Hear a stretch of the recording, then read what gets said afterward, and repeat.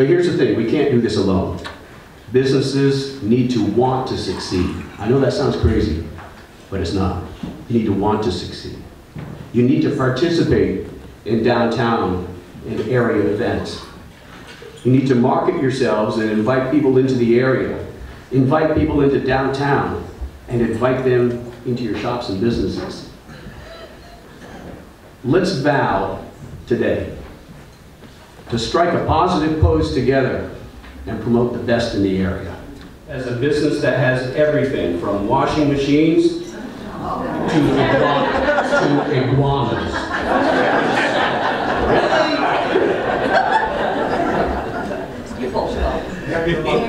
Hardware to clothes and everything in between. If you haven't gone into the store and could not find your way back out, you haven't seen all they have to offer. Our retailer of the year, Pick and Shovel. The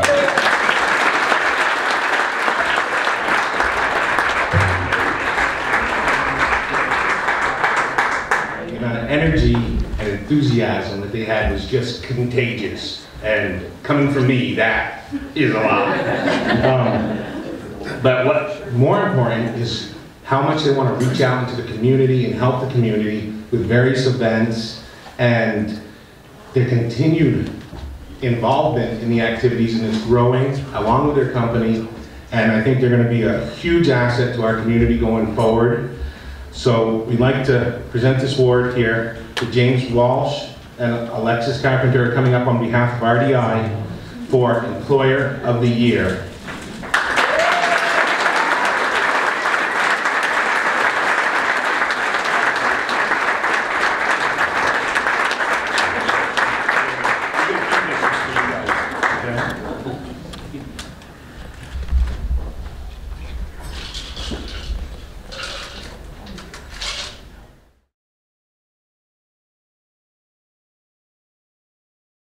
I'm standing here as governor today.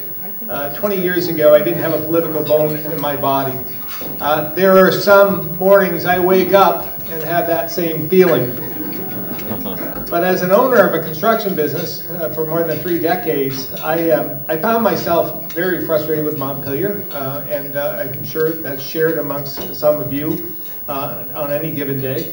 Um, but I, I started complaining a lot about what they then were doing to me in Montpelier.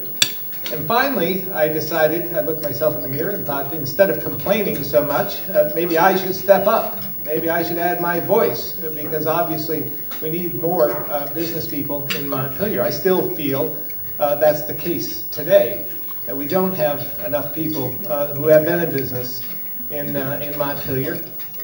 For years, we've seen, on average, we have six fewer workers in our workforce every single day. When we wake up, there are six fewer than the day before.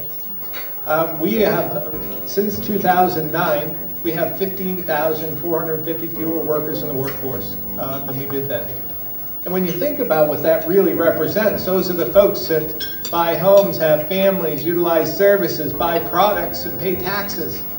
So if they don't, uh, if they're not there, they're not paying taxes, it puts the burden on the rest of us who are still standing. So that's a concern. The, the three number is we have three fewer kids in our K-12 education system every single day than we did the day before. We lose a thousand kids a year. So when you look back uh, about, uh, about 25 years, we have 30,000 fewer students than we did then. We, were, we had 103,000 students uh, back, uh, back 25 years ago. Today, today in total, we have about uh, 76,000. So that's a problem. And uh, the one is probably the most concerning uh, because we have one baby born to addiction every single day.